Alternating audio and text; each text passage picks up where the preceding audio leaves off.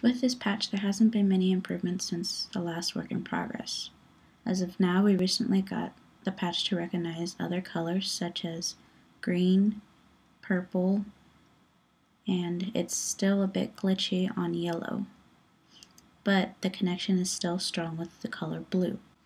Within our previous patch, the color blue made a distinct sound. However, within this patch, the sound has greatly decreased in volume.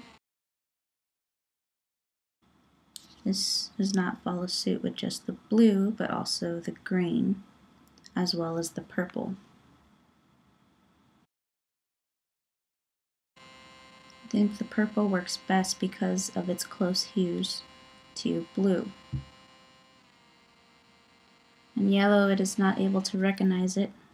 There's no connection with yellow, and with yellow, the color reflects more so on the screen than it does with the previous colors.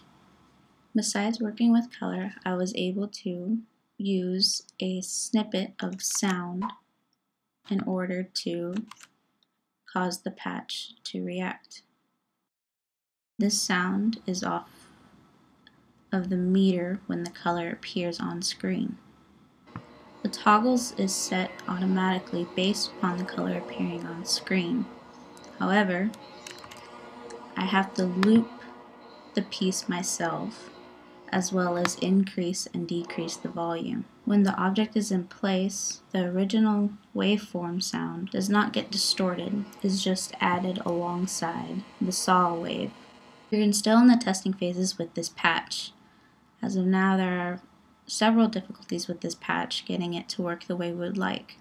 However, we have dedicated our time to not only fixing the patch but also looking at new materials that we can work with. Later this week, we will reconvene our testing over at the DARS facility in order to get a better grasp as to which objects connect better with this patch as well as manipulating the sound the way we would like the colors to do so.